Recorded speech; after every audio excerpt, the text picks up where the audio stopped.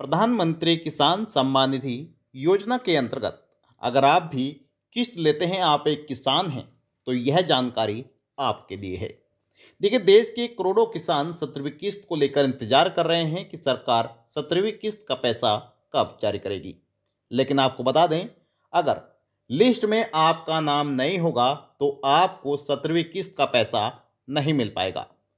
अब आप लिस्ट में अपना नाम कैसे चेक कर सकते हैं, लिस्ट में कैसे अपना नाम देख सकते हैं, उसके बारे में इस वीडियो के माध्यम से हम आपको तमाम जानकारी देने जा रहे हैं। आप यह लिस्ट अपने घर बैठे, अपने मोबाइल फ़ोन से आसान तरीके से चेक कर सकते हैं। स्टेप बाय स्टेप हम आपको बताएँगे कि आपको अपनी लिस्ट में अपना नाम कैसे चेक करना है, उसकी तमाम जानकारी आपको दी जाएगी।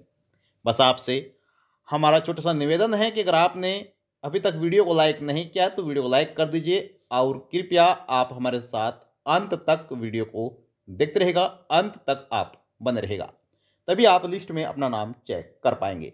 चलिए, वीडियो को शुरू करते हैं और आपको तमाम जानकारी देते हैं। तो दोस्तों, हम आपको शुरुआत से ही बताते हैं। देखिए, आपको सबसे पहले आ जाना है गूगल क्रोम ब्राउज़र पर, जैसे कि आप यहाँ पर देख रहे हैं। यहाँ पर आपको सर्च कर देना है किसान। पीएम किसान आपको लिखकर सर्च कर देना है। जैसे आप सर्च करेंगे तो आपके सामने नेक्स्ट पेज ओपन हो जाएगा। जहाँ पर दोस्तों आप देखेंगे कि प्रधानमंत्री किसान सम्मान निधि योजना की जो ऑफिशियल वेबसाइट है, वह आपको यहाँ पर नज़र आ जाएगी और आपको यहाँ पर क्लिक कर देना है। जैसे आप क्लिक करेंगे तो आपके सामने जो ऑफिशियल पोर्टल है किसान सम्मान निधि योजना का, वह निकल कर आ जाएगा। जैसे कि आप यहाँ पर देख रहे हैं, पीएम किसान सम्मान निधि योजना की जो ऑफिशियल वेबसाइट है, जो सरकार द्वारा चलाई जाती है, वह आपके सामने निकल कर आ चुकी है। आप दोस्तों यहाँ पर देख सकते हैं कि जो सोलहवीं किस्त का पैसा ट्रांसफ़र किया गया था, वह कब ट्रांसफ़र किया गया था? देखिए, प्रधानमंत्री किसान सम्मान निधि योजना के अंतर्गत सोलहवीं किस्त का पैसा 28 फरवरी 2024 को जारी किया गया था। साथ ही यहाँ पर बताया गया है कि ई के कराना बहुत ही ज़रूरी है। ई के आप ओ बेस पर करा सकते हैं। या फिर आप किसी भी जनसेवा से जनसेवा केंद्र पर जाकर इनकी सीएससी सेंटर पर जाकर आप बायोमेट्रिक के ज़रिए के को करा सकते हैं, अगर आपने अभी तक के नहीं कराई है। तो दोस्तों, आपको अपना नाम लिस्ट में कैसे चेक करना है, आपको वही बता देते हैं। नीचे स्क्रॉल करना है। नीचे स्क्रॉल करने के बाद आपको यहाँ पर बहुत से आइकन देखने को मिल जाएँगे। अगर आपने किसान योजना की के नहीं कराई है तो आप यहाँ से के करा सकते हैं। अगर आप ऐसे किसान हैं जिन्होंने प्रधानमंत्री किसान सम्मान निधि योजना में आवेदन नहीं किया है तो यहाँ से आप नया रजिस्ट्रेशन कर सकते हैं। और भी यहाँ से बहुत सी जानकारी आप प्राप्त कर सकते हैं। यहाँ से दोस्तों, आप लिस्ट में नाम चेक कर सकते हैं। लिस्ट में अपना नाम आप देख सकते हैं कि किस आपकी आई है या फिर नहीं। लिस्ट, यानी कि आपको अगर पैसा ज़्यादा मिल चुका है या फिर गलत तरीके से आपके अकाउंट में पैसा आ चुका है तो आप उसे ऑनलाइन रिफंड कर सकते हैं। अगर आपको किसी प्रकार की सहायता की ज़रूरत है तो आप यहाँ पर हेल्प डेस्क के ऊपर क्लिक करके दोस्तों, वह भी आप आसानी से पता कर सकते हैं। यहाँ पर आप देख सकते हैं हेल्प डेस्क का ऑप्शन यहाँ पर दिया गया है। डाउनलोड के सी सी यानी क्रेडिट कार्ड के लिए आप यहाँ से डाउनलोड कर सकते हैं, अगर आपका क्रेडिट कार्ड बना हुआ है। साथ ही आप मोबाइल पीएम किसान ऐप भी डाउनलोड कर सकते हैं, जो कि दोस्तों, प्रधानमंत्री किसान सम्मान निधि योजना का ऑफिशियल ऐप है। जो आप अपने मोबाइल में ऐप डाउनलोड करके वहाँ से संपूर्ण जानकारी को प्राप्त कर सकते हैं। अब दोस्तों, आपको देखना है लिस्ट। तो आपको क्या करना है? यहाँ पर आपको बेनिफिशरी लिस्ट दिखाई देगी। आपको यहाँ पर क्लिक कर देना है। यहाँ पर क्लिक करते ही आपके सामने इस तरह का इंटरफेस आ जाएगा, जहाँ पर आपको अपना डिस्ट्रिक्ट यहाँ पर सिलेक्ट करना होगा। सॉरी स्टेट सेलेक्ट करना होगा। डिस्ट्रिक्ट सब डिस्ट्रिक्ट ब्लॉक और अपना गाँव। ठीक है तो हम यहाँ पर कर लेते हैं। सेलेक्ट सबसे पहले अपना राज्य आपको यहाँ पर सिलेक्ट करना है, जो भी आपका राज्य है, उत्तर प्रदेश, हरियाणा, बिहार, राजस्थान, जो भी आपका राज्य है, वह आपको यहाँ पर सिलेक्ट कर लेना है। तो हम यहाँ पर उत्तर प्रदेश सेलेक्ट करते हैं। उसके बाद आपको यहाँ पर अपना जो भी जिला आपका है डिस्ट्रिक्ट जो भी आपका है, वह आपको यहाँ पर सेलेक्ट कर लेना है। तो हम यहाँ पर दोस्तों कोई भी एक जिला जो है, वह सेलेक्ट कर लेते हैं। चलिए, हमने यहाँ पर जिला भी सिलेक्ट कर लिया है। उसके बाद दोस्तों आपको यहाँ पर अपना सब डिस्ट्रिक्ट सेलेक्ट कर लेना है, जो भी आपका सब डिस्ट्रिक्ट है।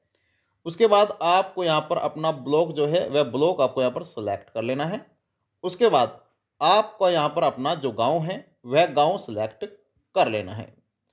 उसके बाद दोस्तों आपको रिपोर्ट गेट रिपोर्ट के ऑप्शन पर क्लिक कर देना है। उसके बाद आपके सामने जो आपके गाँव की लिस्ट होगी, वह निकल कर आ जाएगी। हालाँकि यहाँ पर केवल तीन ही किसान इस गाँव में हैं तो हम आपको कोई दूसरी लिस्ट दिखा देते हैं तो यहाँ पर क्लिक करते हैं, फिर से यहाँ पर स्टेट उत्तर प्रदेश ही सिलेक्ट कर लेते हैं, उसके बाद आपको यहाँ पर जो डिस्ट्रिक्ट है, यहाँ पर सिलेक्ट करते हैं हम दोस्तों, दूसरा कोई ज़िला तो यहाँ पर सिलेक्ट कर लिया, उसके बाद सब डिस्ट्रिक्ट यहाँ पर सिलेक्ट कर लेते हैं। तो दोस्तों यहाँ पर हमने दूसरा जो डिस्ट्रिक्ट है ब्लॉक है, वह दूसरा हमने यहाँ पर सेलेक्ट कर लिया है।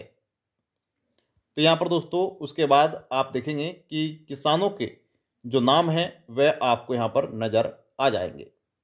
तो यहाँ पर आप देख सकते हैं किसानों के नाम यहाँ पर निकल कर आ चुके हैं इस तरह से आपको लिस्ट दिखाई देगी अगर यहाँ पर दोस्तों आपका नाम नहीं मिलता है तो फिर आपको किस्त का पैसा नहीं मिल पाएगा यहाँ पर आप देखेंगे फार्मर नेम यहाँ पर दिया गया है यहाँ पर मेल है या फीमेल है वह आप यहाँ पर देख पाएँगे यहाँ पर मेल है या फीमेल है वह भी यहाँ पर दिखाया गया है लेडीज़ है या फिर जेंट्स है वह भी आप यहाँ पर देख सकते हैं अगर इस लिस्ट में किसानों का नाम नहीं होगा तो आपको लाभ नहीं मिलेगा अगर यहाँ पर आपका नाम नहीं मिलता है यहाँ पर पचास किसान दिए हुए हैं अगर दोस्तों यहाँ पर नाम नहीं मिलता है तो यहाँ पर थोड़ा अंक भी दिए गए हैं एक दो करके तो आपको दो पर क्लिक कर देना है तो आपके सामने दूसरी लिस्ट यहाँ पर आ जाएगी अभी यहाँ पर पचास दिखाई दे रहा है तो अभी देखेंगे यहाँ पर आपको सौ दिखाई देगा यानी कि हम दूसरे नंबर पर क्लिक करते हैं यहाँ पर दूसरे नंबर पर क्लिक करते ही आप देख सकते हैं यहाँ पर सौ आ चुका है यानी कि सौ किसानों की लिस्ट आ चुकी है इसी प्रकार से आप तीसरे पर क्लिक करेंगे तो यहाँ पर एक सौ पचास आपको यहाँ पर नज़र आ जाएगा इस तरह से आप देख सकते हैं एक सौ दो यहाँ पर आ चुका है यानी कि जब तक आपको, आपका नाम नहीं मिलता है तो आपको इस तरह से पेज को आगे बढ़ाते जाना है।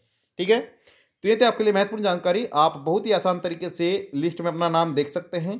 किसानों को यहाँ पर अपना नाम देखना है। अगर नाम नहीं है तो फिर दोस्तों आपको अपना फार्म जो है, वह चेक कराना है। अगर आपका नाम यहाँ पर नहीं होता है तो आपको जो सत्रहवीं किस्त का पैसा है, उससे आप वंचित रह सकते हैं। सत्रहवीं किस्त जो है किसानों की, वह उनके अकाउंट में ट्रांसफ़र नहीं हो सकती है। ठीक है?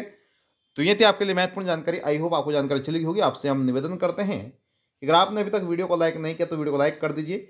ज़्यादा से ज़्यादा वीडियो को शेयर करेगा चैनल पर आप पहली बार आए हैं तो चैनल को भी आप ज़रूर सब्सक्राइब कर लीजिएगा। बेलाइकन को ऑल पर सेलेक्ट कर लीजिएगा। ठीक है? ताकि आपको सभी जानकारी सही समय पर मिलती रहे। तो आप चाहते हैं आपसे इजाज़त और मिलते हैं अपने स्टूडियो में। तब तक के लिए दोस्तों, जय हिंद, जय भारत।